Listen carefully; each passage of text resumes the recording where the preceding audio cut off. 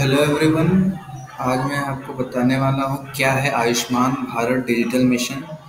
आप सब जानते हैं अभी रिसेंटली हमारे प्रधानमंत्री श्री नरेंद्र मोदी जी ने भा, भारत में आयुष्मान भारत डिजिटल मिशन की शुरुआत की है। तो ये है क्या?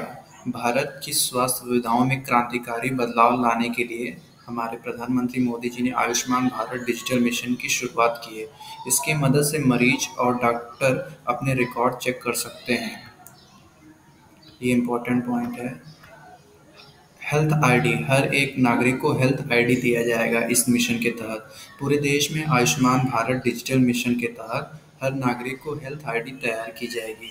प्रधानमंत्री मोदी के मिशन मोदी जी ने लॉन्च करते हुए कहा कि आयुष्मान भारत डिजिटल मिशन अब पूरे देश के अस्पतालों के डिजिटल हेल्थ सोल्यूशन को एक दूसरे से कनेक्ट करेगा।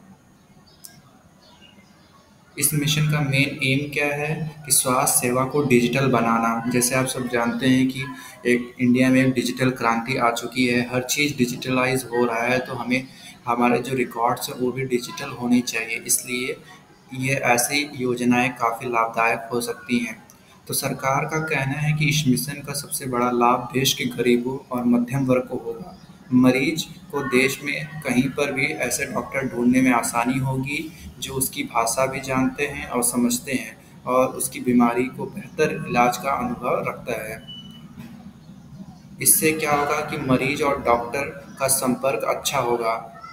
प्रधानमंत्री मोदी जी ने मिशन को लॉन्च करने के दौरान कहा कि इससे मरीजों को देश के किसी भी कोने मौजूद स्पेशलिस्ट डॉक्टर से संपर्क करने की सहूलियत बढ़ेगी।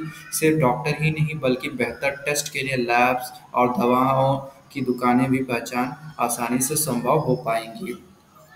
इससे एक और सबसे बड़ा फ़ायदा होने वाला है फ़ाइल से छुटकारा।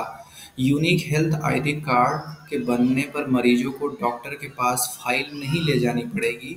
उसके सारे रिकॉर्ड डिजिटल रूप में उपलब्ध रहेंगे।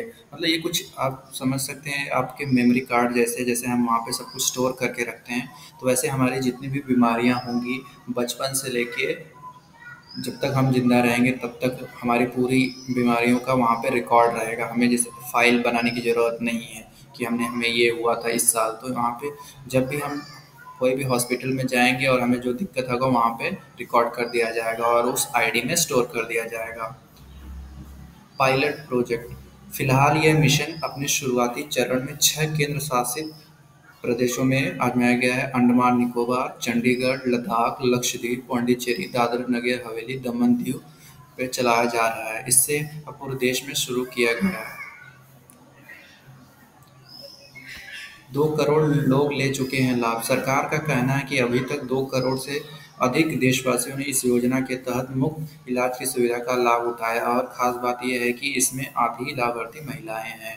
तो आप देख सकते हैं ये योजना काफ़ी लाभदायक होने वाली है आने वाले समय में। तो आपका भी अगर हेल्थ आईडी नहीं बना है तो जल्दी से आप अपना हेल्थ आईडी बनवा लें। काफ़ी लाभदायक होगा, इससे आपकी बीमारियों को ट्रैक कर पाना यानी आप कहीं भी जब जाएँगे तो डॉक्टर आसानी से आपको इससे पहले क्या हुआ था, क्या दिक्कत थी, कौन सी दवाइयाँ आपने ली थी, इससे आसानी से डॉक्टर को आपकी बीमारियों का पता चलेगा। जिससे वो बे, जो बेहतर चिकित्सा इलाज आपको दे सकेंगे और उनकी जानकारी, जो आपकी जानकारी है, उनकी जानकारी से काफ़ी अच्छी तरह से मैच करेंगे और आपको अच्छी दवाएँ दे सकेंगे। Thank you